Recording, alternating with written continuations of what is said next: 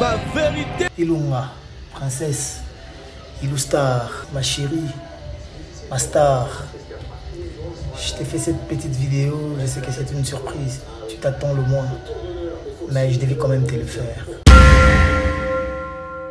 eh, eh, ba vérité Euh, princesse litrone nabima no na ndenge na nga moko nasalaka mosala na nga c'est mon travail à moi oyo nalelaka oyo eda ngai peut-être na makambo ebelebele oyo eza privé ya nga donc voilà je pas temps de bêtise je pas temps ya kosala base donc lokola nga kutu na bima na mpe na base te natikaki kosala mpe base te elongi nango etinaki mpo ye kanda asala video wana mais mpo namona ye ke ya rapi trop princesse makambo ezali e eh. elimani makambo ezali bafia théâtre bazonyokola biso e eh. oh. biso ba journaliste tozolelaka heure nyonso baverité bon en fait eloko mosusu okosala yango base e, ekitisi yo eloko mosusu okosala yango e, esali yo bien te mpo nde toza boye toza basi toza na mibali tala ba belle famille batala biso je ne pense pas que belle famille moko olinga mona mwasi ya ndeko na ye to mwasi na bango na ba bêtise moko boye sur l'internet toi da bato public tofingama déjà eh, eh, eh. soki otie élément peut-être nazala surpris omona yango mais boyebaka mpe bapropos mosusu bolobaka esala esalaka mabe esona mabe na mato ya mibali na biso eh, eh, eh. baloba na balaa te te baotya mpona bolingaka kobala te mpo oyebi koza na 4 5 6 7 oyebaka kogere te lokola nga moto ya mokili ako otya mpoi na vi na nga te hmm. nga nzambe nde otya mpoi na vi na nga eza te ke babalaka te to azolinga azobala te nga naza mwasi nga mpona obala mobali te mpo mobali nde azwa force ya obala nga epuis nde ezala nga aloba yango e l'amour eza kaka mariage te bolingo eza kaka mariage te parce qu'il ya basi oyo babala baza na bandako ya mabala baviva na bango mpe reste eh, eh, eh, na ngai moko nayebi ke ya rien du tout donc ya rien du tout aza frère na ngai donc euh, voilà ya liboso tokoki comprendre ke oui eza base esi base yango yango esengaka double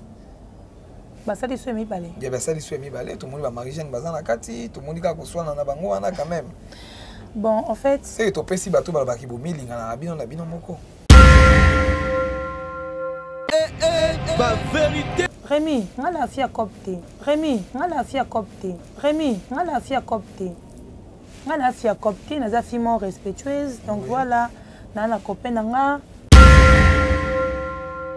eh, eh, eh. merci beaucoup baabonne na biso nyonso tu ya nuska tv officiel merci beaucoup na baitu bolingaka rimi covodor lokola famille libota balobi famille ezotika rimi covodor te ezosoutenir ngai na makambo tout na bapriere en tout cas famille libota napesi yo bambote ebele nabosani te pasteur de la foi balobi ya ah, mosali na nzamba solo papa aza so atie loboko fo makambo nyonso to ekende kaka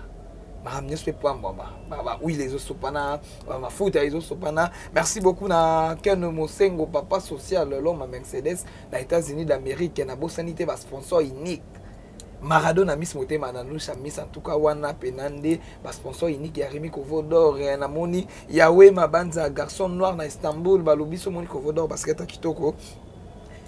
ensemble avec toi kitoko na lati boye bobanga na bino to poto te yaka turki moto elati arimi kovo donc epai yawe mabanza garçon noir na istanbul moto aleki ye na noir azati garçon atatu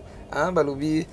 yawe mabanza napesi yo mbote na turki wana nabosani te chef emani mambo président emani mambo balobi pesa makambo ozwa makambo so opesi te moyo ozwa eza te yana ba makambo boye ifo kaka opesa kaka mpo emani azongisela yo napesi mbote na ngai na bato tu bolingaka remi kovodor bokontinue kolinga ngai antuka naza wana mpo na bino o oh, mosala kitoko o oh, kovodor obebisaki mwa ndambo nde nayebisaka bino kaka ki toza bato ya mo tobungaka me so tobungi par rapport ndenge tomesanisa bafane na biso tozongaka mpona kosepelisa bafane na biso en tout cas na plateau na nga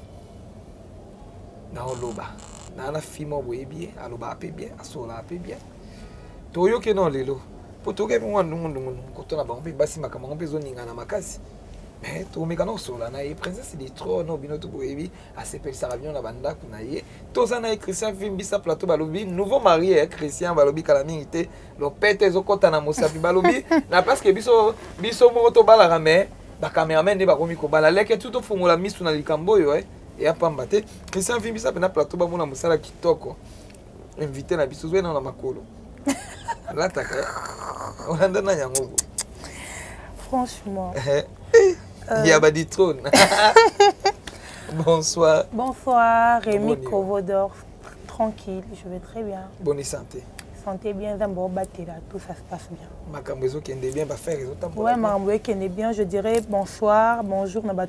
ba fan tout balingaka illustar euh, ba fan na nga j'espère que ça fait très très très longtemps bomona nga lisu na émission donc voilà napesi bino bambote bozalaasali makambo nanga nazwi ka foto no na bambi olukela nga baproblème tala alukela nga baproblème omonaka process asali boye ngai polémique na ye bango te hmm. ngai nazala na nga bien na bato te soki aluka bavie na ye atie nkombo na nga mais boyeba ndeni ya ko ya osalaka comment dirais tya kombo na nga peut-être lobeli o mwa bien mm. olobeli o mwa mabe lokola nga babenga nga bayebisi nga mais natalaki émission te ah, ya na yo kota namoni a rien avoir photo na ngai na makambo ebimi rien avoir okay. ouais. merci beaucoup princesse listron na balobi ah, tozalaka pembeni ya princesse napesi napesi na babiju na nga mm -hmm. na bos papi le roi carte limité bilanga euro oh, balobi mwa mbala ya papi le roi carte limité bilanga hero gros bisous à toi namoni boye vie na nga josé ndombe premier ministre hein? un showman depuis paris gros bisous napesi mbote na euh, hp redo hp redo babi c'est à dire que tolataka marque wana nga azwi no te hp redo depuis Turquie, je te salue. Adamou Bolingi, la mon gros bisous. Elle a fait merci. Na Yahweh Mabanza, garçon noir. Eh, nga mpe mikolo nakomi na yawe mabanja oh, garçon noir na eh, istanbul ah, kobosana mpe te balobi marke moko ezali eh. soki omika na bon marché omi na bon marché na fenis jm fashion jm jm fashion en tout cas jetumeta la patrona bokozwa mpena banouveauté ya kitoko ekalaa basports déjà na kati awa tokozela kaka ya mpo tobanda mosala yango je tout meta bantu ka félicitation na ndenge ozolatisa bato marka kitoko mpe hmm. litron nayebi te bambote soki bambote eza ebele tosolana tosolanaebike eh, makambo ezali lorette ibumbu depuis, depuis istanbul lorette ibumbu eh, motema ya mobali na ye daniela kabuya bana ya turquie nalingaka bino ya trop gros bizu na bino tokota sikoyo likambo yango nabongama makambo eza ah yeskovodore balobi ki o oh. princesse hmm. nayebi te tosolola na mwa moke ouais, je suis là. napusana na mwa ndambo pusana mpo ezalaka likambo mwa kisongisongi e kovo dor oko nakotelaka princesse omoi nde na dépose na telefone mpo omonake na okotela te tozosolola hmm. ya badi trop na relation nano bamisi ezala nano ndeni avana tokota nano mais vous créez des problèmes inutiles Euh, ba musicien baza comment dirais-je tosalaka juste mosala moko biso toya baartiste bango mpe baza baartiste donc euh, c'est pas dire que princesse elle parle euh, bien avec tout le monde non mais quelques personnes oyo peut-être na fréquenta nayeba bango na nsima bato nayeba motu na nsima motu mais toza na babonne relation mbote mbote on s'arrête là donc voilà mais pas tous les musiciens mais sauf que musicien oyo nakutana na ye asoyisanga bien toswana biso ya misusu vite fait kaka donc naza très bien na relation naza bien na, na comment dirais-je naza bien na bamusicien oza bien na bamusicien tomonaki bafoto mo etambolaki awa na ndako ya wata prestesse litro nazali na kati mais j'espère ke elobamaki relation ah. nini boye na boye en tout cas toyokaki biso nyonso tu moto oyo bayokaki te nayebi te relation nini wata gogan moto na tembe o likambo eza te natuni ka yo na gogan mais oyambi nga ompa toloba mpona oyambi nga mpo na maboke ngalema je suis actrice comédienne non oui tokolobelanga makambo nango totanga mawa mission nga na chanteuse te mais oui totuni likambo ya wata natuni yo kaka ki relation yango na wata ezalaka nao ndeni Ben, en fait, euh, n'a pas fait mbote d'abord dans la poulka, les makma, toto ya tembe, mon grand frère. Donc, on a la ebi wata sima ya ya ndeko na nga okay. akosola très bien na ndeko na nga nde nayebi en tout cas nde balobaka bokomona na motu une fois na vie makila etutani oui. eh, eh tokutanaki makila etutanaki tosolaka bien après esinga prince tosala epa président v12 président v12 motu na nga boye boye tosolola en tout cas wana 2000 combien 16 2016 2016 ouais, si je me trompe pas 2016 oui. toyebana na ye vite fait et après mais oyeba esu bien na nsima copine na ngai niki ngasi ya triple n euh, maiwana triple n depuis nigeria napesa bagros bisu ma copine donc na oyeba esu na nsima copine na ngai niki ngasi ya triple n en tout cas si je vais parler, euh, je, je vais parler pour héritier aza yaya mo aza bien il est social en fait il parle bien avec tout le monde asololaka na bafani na ye donc c'est à dire que aza, aza musicien oyo peut-être akoyamba fani na, na téléphone osola na ye ocomprendre namonaki ye non il est sympa aza bien avec tout le monde donc voilà ya, ya, ya rien ya eloko okuta mabe eza te donc eza na okaa juste monde ezalaka okangi photo na star opubliaki yango na page na yo et après eloko moko yobimela star wana après bazwi kaka bafoto na yo lokwa yo mpo oza kaka star lokwa yo mpo oza kaka moto ya tv balingi peut-être basalir yo peut-être mpo bazwa babimisa mpe bafoto na yo baloba n'importe quoi mais en vrai na ngai moko nayebi ke ya rien du tout donc ya rien du tout aza frère na ngai donc euh, voilà ngai na ye mpe tomonana chaque chaque te mosusu kala lokola namoni un jour asuka wapi toyaki na ye na mariage ya ariachour kala euh, tozalaki na esu jour nini na jour tosala nzembo ya defet chiko pululu euh, tokutana na studio tozala na baye mayo Donc, euh, ça fait longtemps. Date de longtemps, en fait, ouais. Merci beaucoup, Christian. Oh. Tu retiens l'élément, mon boy. Oh, Gogan, mon ton atembe. Ah, tu peux te louer, tu peux te mourir, parce que la princesse du trône n'a évité. Tout le monde, l'élément, wana na évité, ma maman. N'est pas un élément, wana. na makambo alobi na makambo princesse akosi biso awa nayebi te toyeba nanu ke makambo nini oyo eza na kati mpo makambo ezali e eh? elema nini makambo ezali bafi ya théâtre bozonyokola biso e eh? oh. biso bajournaliste tozolelaka heure nyonso elema nini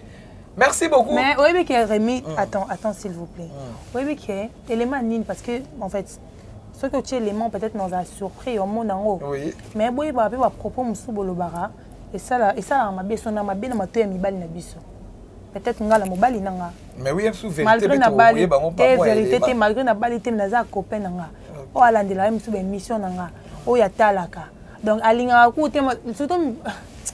so oyoki so bango bamusicien yo otyeli na cercueil merci beaucoup christian toyebi deyo bamisu baa mitema ekomi kobeta beta beta beta beta beta remi akundoli ah, ndenge nini bogan moto na tembe balobi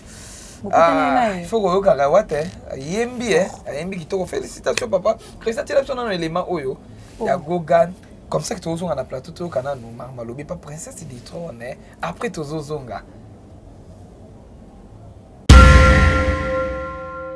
eh, eh, eh. ba vérité hello ilunga princesse ilustar ma soeur ma petite soeur ma, ma pote ma chérie ma star, je t'ai fait cette petite vidéo, je sais que c'est une surprise, tu t'attends le moins, mais je devais quand même te le faire.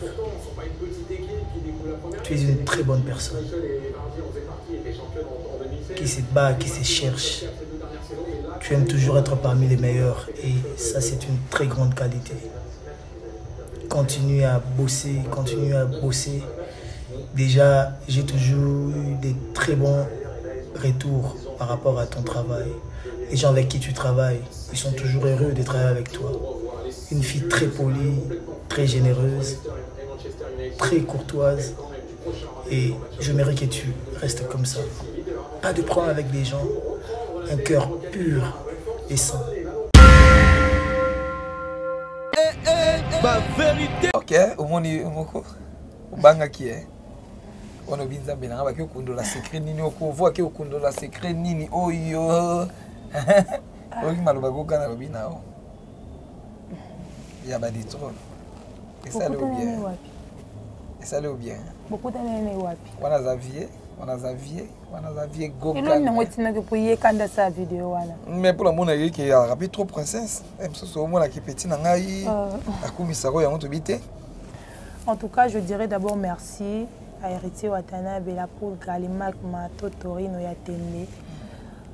Euh, je suis flattée d'abord merci d'abord pour la surprise oh je m'attendais pas à ça oui. merci nayebaki yango te je sais pas comment tu as fait mpo bosala video oyo na retenir kaka maloba lobi oza petite sœur moko gentil bien ozalaka nde ozalaka linga mosala na yo respecte bacollègue na yo ka nde bozala en tout cas euh, merci beaucoup yaya na osalaka oyo olobi donc euh, voilà ah frère na nga apesi ngai juste asali ngai juste eh, video surprise moi conseil moi nini en tout cas ça me va droit au cœur mpo obangaki deja tokaki te natoke te nabanga te nabanga te ndenge nini hmm, remi nga na fia cop te nga na fia cop te naza fille mort respectueuse donc voilà naa na copain na nga donc euh, malgré nabali te naa na petite nde balobani copain chéri naa na chéri na nga oyo so nzambe asungi c'est bon so mpe nzambe asungi te donc naza na avenir liboso na nga donc nabangaka te ke moto aloba na nga donc nayaki pepele kimia parce que je sais qu'il y a rien moi ya héritier c'est mon frère à moi toyebani c'est tout donc euh, naza ko surpris omona nde video na ye mais esali nga bien namoni considération merci beaucoup christian tozonga na masolo na biso ya bacomédien sikoyo balobi princesse litrone bacomédien babi bokomi koyokisa bato soni bokomi kokosa makambo tu base nayebi te soki ozwaki ntango otalaki base ya brifil na collègue na yo oyo mpe tolingaka mingi cardozo mille esprit nayebi te ntango olandaki yango esalaki yo ndeni eza base te nayebi te ngai nalobi mpo bango babengi yango base so natuni ketake princesse litrone ntango olandaki yango esalaki yo ndeni en fait ngai mwana monaki lokola tournage bako tourner te ezali tournage te ezali makambo solo oyo bandaki kolekana wana ah bon omonaki yango ndeni bon en fait pour moi namonaki yango lokwa scène baojoue mais nayoyoka eza base bon en fait bastar bastar bazala na mwa makambo na bango mwa boye donc star akocreye loo mwa boye mpo balobela yango to mwa boye par rapport na ye nde amoni par rapport à cardozo mille esprit ma copine donc selon ye kua amoni ke afosa elo mwa bongo donc voilà wana soki oyambi cardozo nde otuna ye ameka orépondre papa mais quand même yo mpoza moko déjà osa mosala yango pourtant baofingaka baotiaka bino to en général en tout cas bafille ya théâtre mpe bolekisi bafille ya théâtre mpe pourquoi mpe boza baozwaka bino na bafacilité tout mpo baotiaka bino to en général eza par exemple ya kolobaka likambo ekomi epa dozo mais batie bino to en général donc batie bino to en général princesse paza na kati princesse paza mpe moko oyo ya bafille ya théâtre omete quand même même soit ndenge ozoyeba kilelo oza na moko na yo ozoyeba kilobi te ntango bazokaka bino na babétise yango na babozo bango omete bokoza mpe na badanger par rapport ya baeloko eloko nakoloba très bien que toza bacollègue bacopine mais motu na motu ana ndenge amemela makambo na ye motu na motu ana ndenge areflechisaka motu na motu ana ndenge akumbelaka vie na ye donc c'est à dire que Euh, princesse du trône nabima no na ndenge na nga moko nasalaka mosala na nga c'est mon travail ya moi oyo nalelaka oyo eyeda ngai peut-être na makambo ebelebele oyo eza privé ya nga donc voilà je pas temps de bêtise je pas temps ya kosala base donc lokola nga kutu nabima na mpe na base te natikaki kosala mpe base te donc euh, je sais pas moi je parle de moi donc euh, voilà base pour moi je trouve euh, bon en fait elo mosusu okosala yango base ekitisi yo elo mosusu okosala yango et esali yo bien te mpo nde toza boye toza, toza basi toza na mibali toza na babelle famille batalaka biso je ne pense pas ke belle famille moko olinga mona mwasi ya ndeko na ye to mwasi na bango na babétise moko boye sur l'internet toza da bato public tofingama déjà donc tolingaka te kosala eloko moko boye mpo tofingama lesu encore c'est pas du tout bien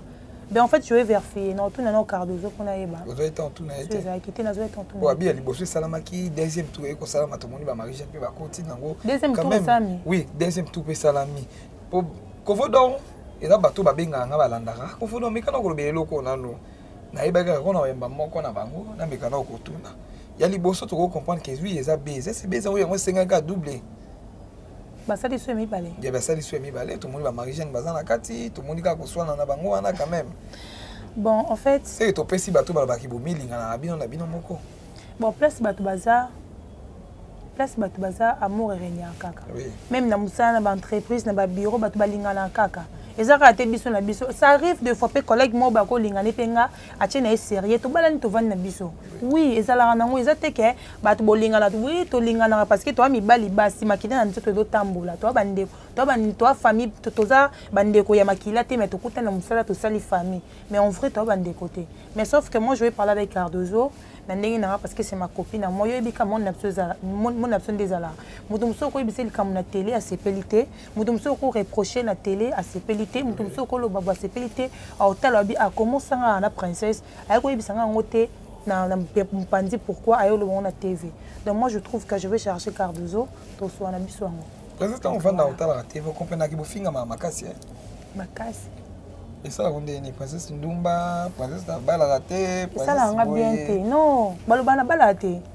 te baotya eh, mpona bolingaka kobala te mpo oyebi koza na 4 5 6 7 oyebaka kogere te lokola nga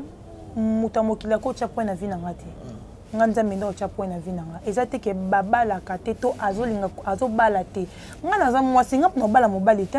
fo mobali nde azwa force ya obala nga epuis nde eza na nga aloba yango e eh. lamour ezaka mariage te bolingo ezaka mariage te parce qu'il ya basi oyo babala baza na bandako ya mabala babibana bango mpe reste tolanda bastoril te tolandaka bafoto ya snap te mosusu stati otala e eh, balingane non en vrai baza na baproblème l'amour c'est dans le cœur linga mobali na yo alinga yo atya yo alaise ngai nakozala na ngai mosusu nabali na ngai te me naza mobali na ngai otyanga alaise tomoni lelo tomonaka lelo oyo oh, mama aboti bana 3 4 5 avandaka na mobali abala ye te e après mobali amoni sikoyo non afana non officialise relation ya ngai na mwasi na ngai donc mariage eza mambo ya force te eza nango mpe presse te moto akosala course aza te donc princesse asala course na bato te parce que yo mo ozomona mabala bacourse mpasi esukaka donc soki ozosala libala course nabala mpo na prouve yo moto oregrete nasala ngai mpe lokola kingani asali ngai mpe nasala ngai nalinga osala te lokola kingani asali ngai mpe nasala moi je vis ma vie ya moi nalandaka moto te lokola kingani asali non non non ngai aviva mpo na bato te yango omona vindi yango omona nzela na ngai ezalaka boye yango omona makambo na ngai ezalaka boye yango omona mosala na ngai na ometene kogarde ka place oyo naza wana parce que suis naza ouverte en fait motema na ngai eza polele na likambo motu te nalandela vie ya motu te akenda asala boye ça me regarde pas ngai naotala oyo yanga liboso na baprépare mpo na ngai merci beaucoup princesse azotala oyo yaye ya liboso princesse nde povanda mpe boye eza mpe na motu déjà mpo kozwa mambo ya libala oui oboya biolinga te eza question te ke naboya eza question te ke naboya tu vois l'amour il faut ozala convaincu il faut olinga motu babala mpo na sentiment te nga na gira yango na gira nayisa nzambe ke nga nakolinga motu moko te mpo na intérêt et après naya mokili emona nga mabe yango moi navandaka na nga eh, nakolinga motu te mpo na intérêt ocomprendre ye mosu mpo na matériel mosu mpo na poto na préféré na vana kisasa na okufa te kotala delapa bali bijou la reine azoya bayaya oh, eza likambo ya bienbino baleki bozongaka kaka bolingi surtout makambo ya libala te balobela bino te oh là là mais c'est une bonne idée nga na osepela makasi nde bazobala ya bijou la reine camille to bala ma mama de la paix déjà bali son père mpe camille te libala na eza donc ça fait du bien eza course te mwana de la paix bali na age nini malade elapa bali na age nini mibali ya presse te epuis nde ezana to tomityana to, to, to, to, to comment dirais-je tomi eh, nakoloba ndeni kose baloba nini yango kosudestime eh, eh, na vie te parce que vie eza molai ocomprendre omonaka te ngai na nuni ngai age epusani ngai te ya na mobali oyo obala yo kaka na age wana yana mobali oyo obaloka na bana wana peut-être mobali aboya yo atika ona na bana omo loko komi désespéré na vie omo loko ngai vie esuki nga ngai boye boye non non non non avenir ezali donc c'est-à-dire que kozala na bana 5 6 mobali atiki yo nzambe nzambe aye apesi yo mobali moko boye alingi oka na bana wana donc mokili ekamwe nzambe omoni ya nzambe akamusaka bato ntango adela mpe aboti bakevin bakoli oui. akodon ah, ah, je ne pense pas que mobali na liboso ye wana non aboti ba kevin me nzambe ayosali grâce apesi mobali ya paster epuis ya kimia afandi na libala na libala eleki kitoko toke tomeli tolie oyo etikali wana tolanda yango te biso tomoni kaka moto abali donc aza donc c'est à dire ke ye na mobali nde bayokani aza bien mpo ti okoma na, na niveau ya mariage c'est à dire ke naza bien na mobali na nga toyokani bien et non nakosala libala moko boye mpo peut-être ah nolanda intérêt moko boye lokwa nga bolingo intérêt na kokanga ngo te nga fo nalinga yo so nalingi yo te ah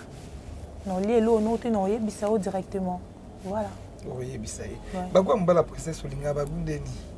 ay mobali ka ya bien mobali ya bien oyebi nzambe oyo aza kaka bien otyanga alaise kolanda apparence te ngai nayebisa ko très bien ke apparence na ngai okotraite yango na ndenge nyonso tobalobela yango eh, alingi babilonga ndambo ndambo soki atie bavert barouge bacouleur bordeaux ndenge omelangeaka na problème te c'est pas un problème wana eza couleur mais mpe ebangisaka mobali aotaki ah, natangela mwasi non même pas wachangeaka perruque chaque fin eh, eh, chaque semaine ya rouge vert jaune esebabokilokola propre je passe à la télé naza fille ya tv donc c'est à dire que je tourne presque chaque jour sosuki ekomi nga sati afona somba plante fo lokonga baplante na miko batinala bamasta na nga batindela nga taylor la mechola kopinda nga na canada tindela nga baperike asombela nga ba 500 euro na canada asombela nga banini kopine na nga angi kayeye la canadienne depuis canada bakopine na nga batindela nga bino kongo na nga princesse alati me mobali na ye te eh? mobali na nga te nakosa mpe maka mosunga mo mobali kaka te fo asala nyonso to natika ya mobali charge non non nga mpe na théâtre ya mosala te nazwaka da mbongo na nakosomba mpe kabelo na nga donc c'est à dire na vie il faut olinga ovivre bien nga alinga ovivre bien peut-être baparent na nga baviva te place wana nga lafona vivre bien donc soki esengi na melagi na meligi soki esengi na tie eloko boye na tie eloko boye nga alingaka bongo olingaka bongo eh. nayebi te princesse azalaki epa bango bio oza epa na yo moko nafanda epa seur na nga edérange yo Je ah, salis, je salis ma grande sœur, la diva ah, congolaise, Anita Ilunga, la maman ah, de Céane de Brian. Ah, je suis un colosondi ma oboko là. hmm, balobi mwa mwasi oyo aleki bango tout nabosani te ya bijou na états-unis d'amérique bijou ilunga l'américaine balobi wana parmi bapartenaire ya remi kovodo bijou ilunga l'américaine depuis états-unis sariana meso ma soeur de lix babisa lobima age ezokende asala abima ndongo alobi bongo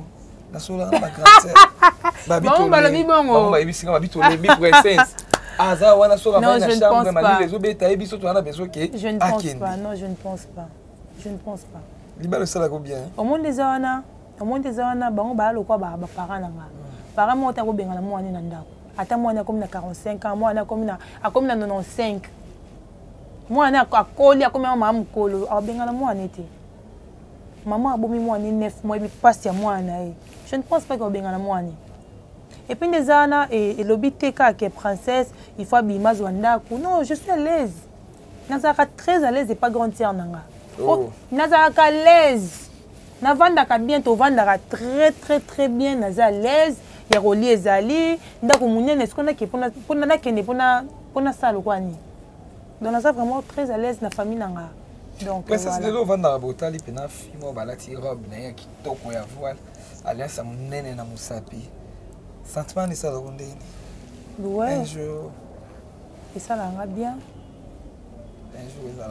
te ngai aloba mambo un jour te ngai esali ngai kaka bien félicitation elle c'est tout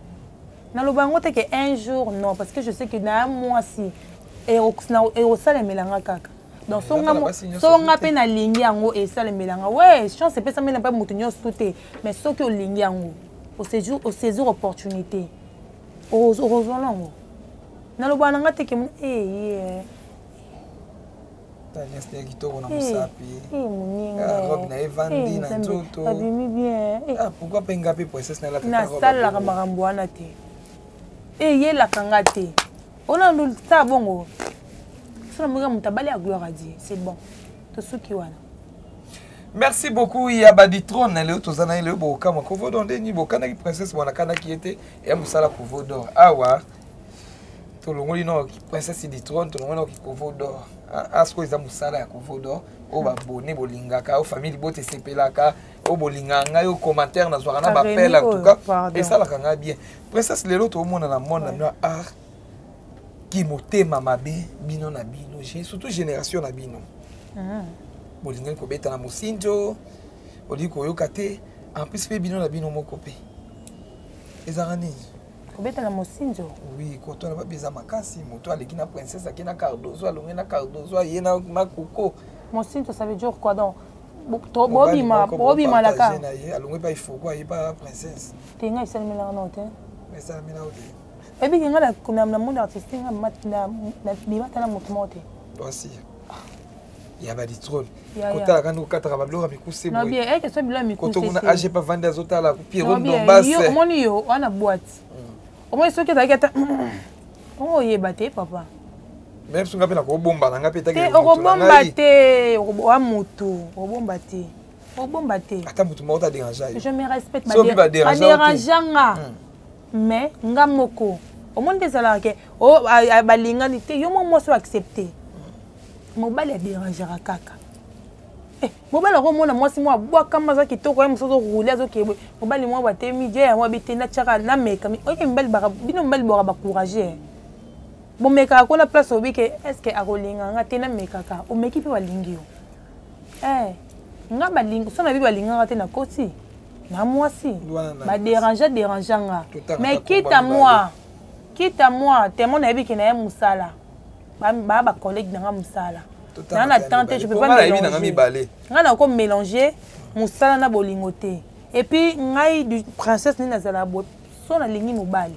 seke motema na nga esepela ye seke nalingi ye sikoso olingi no ngai motema esimba te esimba te eh, ebeti te donc ebeti te donc c'est-à-dire que non ouais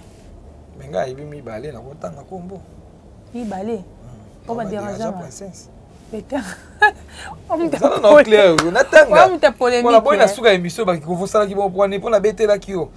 mpo ngai nayebi nanga mibale baoyo batungisaka mpe ti lelo nga nabetela yo lisolo betela nga koyembo mpo olakisanga bango natanga nkombo esi anayeli natanga nkombo ozwi ngai oconfirme ke natanga papa soki oloba olobi parceke nayebi ke nabetelaondenge eh, olobi ke ya koloba olobi wana seke osiliki déjà oh. seke yo oloba ke mais oui lobaka ke kovo tanga mpo nga nayebi eloko te nabetela lisolo te bon nabetelo lisolo te nde oza na conscience nde oyebi ke nabetelo lisolo te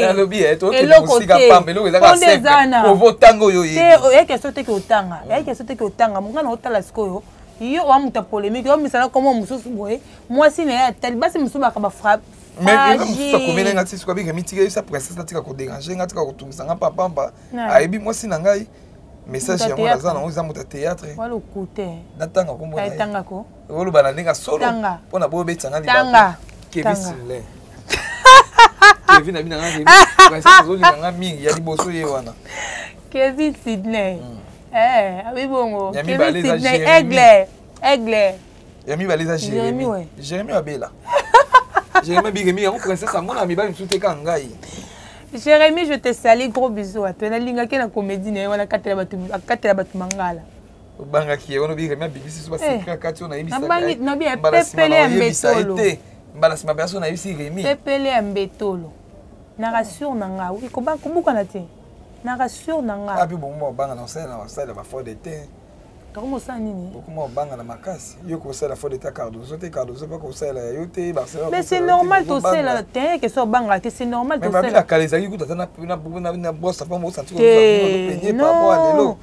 ere oya da mosala fo na nyonso fo na pene na obros na yo na nini no maquillage na yo tout osala ya moninga ndenge mosusu ye aza pembe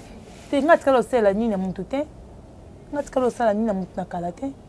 be bon en fait so olobi ke o oh, tosalela tokosi parce que ça arrive des fois tozala babrosse topenyaka mosu na ngai yako ozwa eloko ya barcelone nga azwa eloko ya barcelone mama apesa nga nini boye azwi princesse pesa nga boye azwi tournage boye barcelone alati lamba na nga nga mpe nalati elamba na ye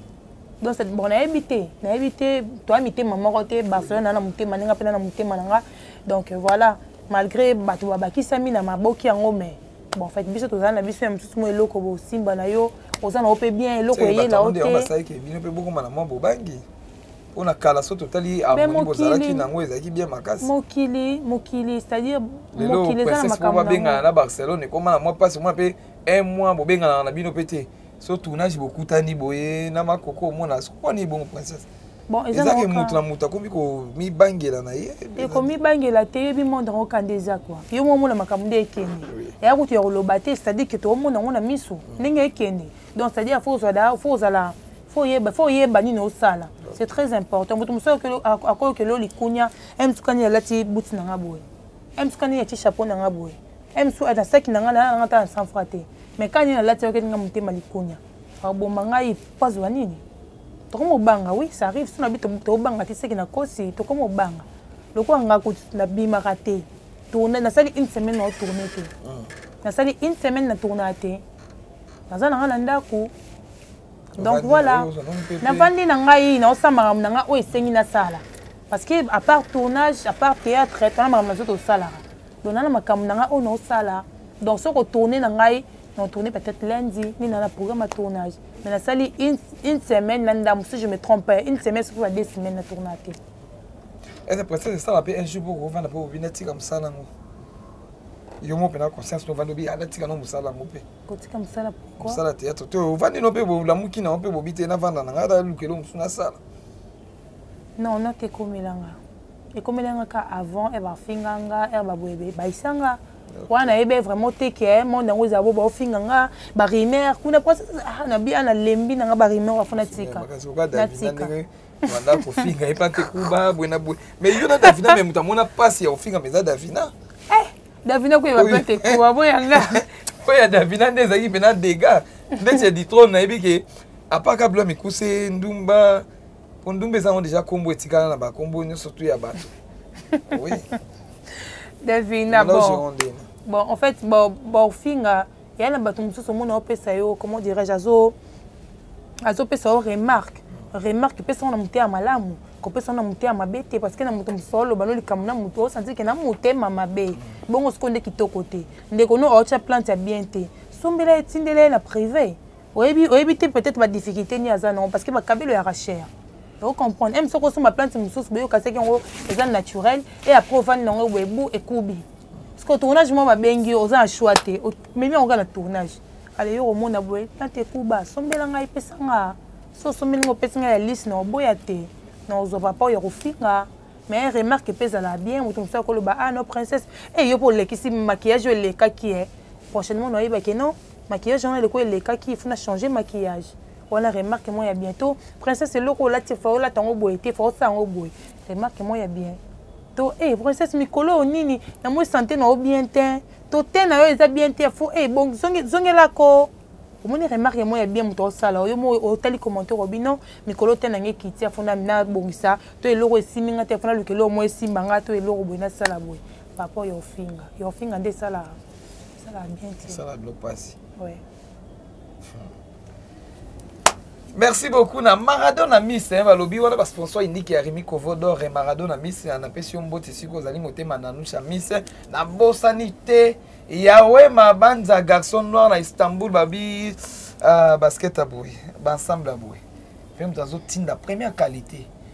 Ah, ba yo nyo surtout boza pe na besoin que boti na mbongo na bino pa yawe mabanda tindela bino ba biloko original oyo boza na poto Paris États-Unis bobanga na bino ti bobenga kana numéro ko fodo ataka wana bobenga kana opesa bino numéro yawe bosola na ye en tout cas ba biloko pene koya oyo bino bosepelaka nango hein ah, bokolata pena kitoko na bosani te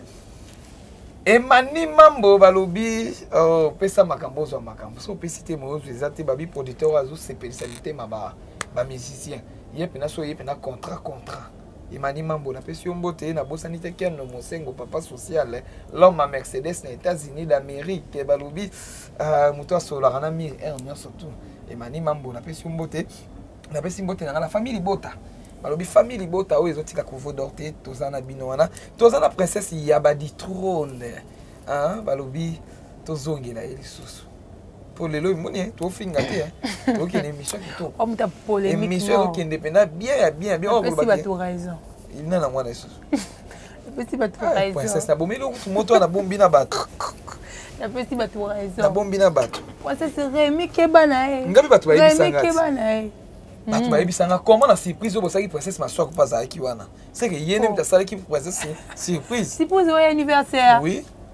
Ah. bato bayesi naseke maswaki moto asalelaki oyo ngai nazipi yango eh.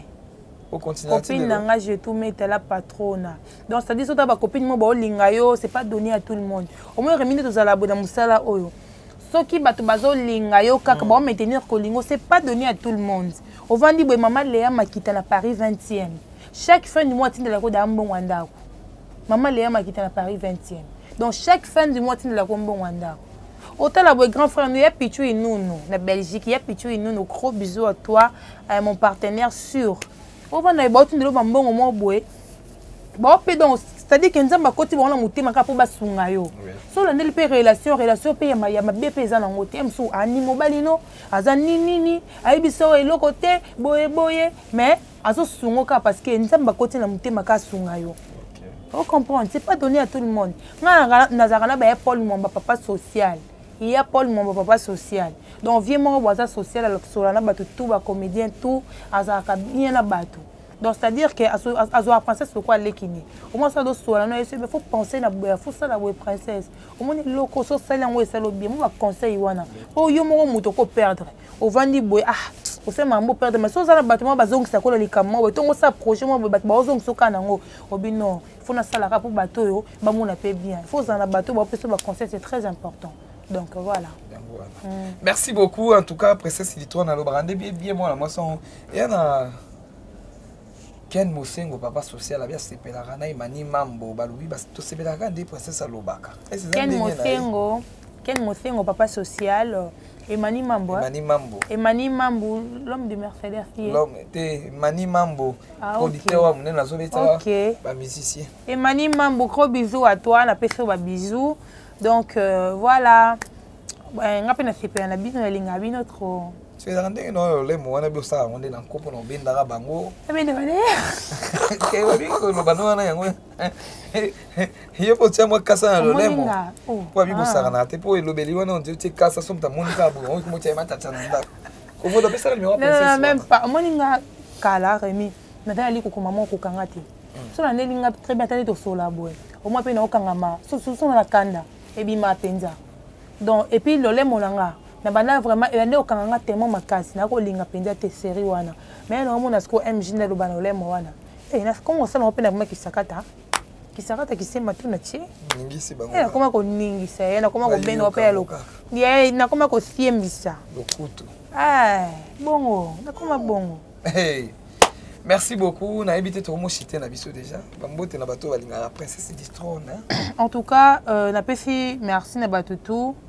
oyo balingaka nga bato tout basoutenaka nga napesi merci na en tout cas soki bongi bolata boye nde princesse alati nulle part ailleurs otelema nanu bamwanapo motu so azala besoin chemise akokompate chemise aza ndenge nini alingi alata eloko ya motu fo olakisa ba motu tu alingi alata babi nulle part ailleurs bokeka na instagram na ye latifa mundeke latifa mundeke depuis paris sosali commande na yo partout ekomela yo donc c'est à dire soki na instagram nobetika euh, lady shop lady shop paris e eh, yo nga lady shop luxieuse lady shop luxieuse lady shop soki obeti kaka oponi bamodele na yo to wana osali commande na yo eh. Eh, osali commande na yo epa latifa mundeke luxieuse lady shop osala bacommande na yo to wana okozwa yango bao to bana mposa baperike ya princesse du trône oyo atiaka babi nulle part ailleurs chez ma copine jenny mundeke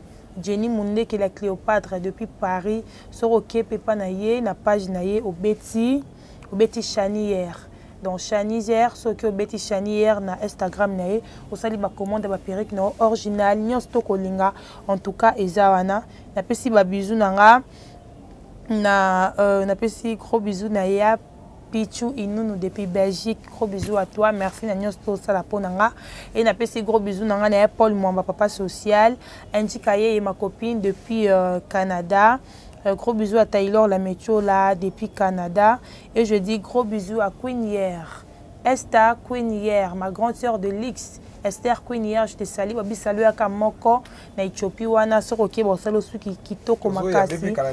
napesi gros bisou na blaise conde depuis paris et gros bisou comme ça à ma grande sœur chérie Gisèle Yamamoto Motema ya Cappuccino les Bogards la peso ba gros bisous et gros bisous comme ça maman Léa Makita na Paris 20e gros bisous à Daniela Kabuya depuis Turquie Laurette Ibumbu gros bisous à toi et gros bisous comme ça euh, à Reina Tekani qui règne mère Renate Kaniki Reine Mère gros bisous na pesi gros bisous lisusu na Ines Kabemba la fille à taille S moi c'est Mbongo gros bisous na yo gros bisous comme ça à Platini Menga ministre d'État depuis Paris gros bisous à José Bret depuis euh, depuis euh, Italie ambassadeur gros bisous à toi et na pesi gros bisous na euh, Jean Pimo euh, Jean Pimonga mokonzi ya Kimbangu depuis États-Unis gros bisous na yo Gros bisous à Christian Mapila, opérationnel. Il y a linga trop libanga. Donc euh, voilà, bisous na batu tout balinga nga na linga bino ya trop. merci beaucoup merci beaucoup na baabonné na biso nyonso tu merci beaucoup na baye tosu baye nyonso tu bolingaka remi kovodor mpo na mosala en tout cas nga mpe nalingaka bino merci beaucoup na famille libota merci beaucoup na belleville la patrona ah, balobi motu atiki baanniversaire na kanda belleville la patrona napesi yo mbote napesi mbote na ngai na Yahweh mabanza garçon noir na Istanbul Yahweh mabanza balobi pesa makambo zwa makambo Yahweh napesi mbote napesi mbote na bato tout nabosani te Maradona Miss motema na nous Miss en tout cas ba mbote no yango wana tomonani bala nsima bye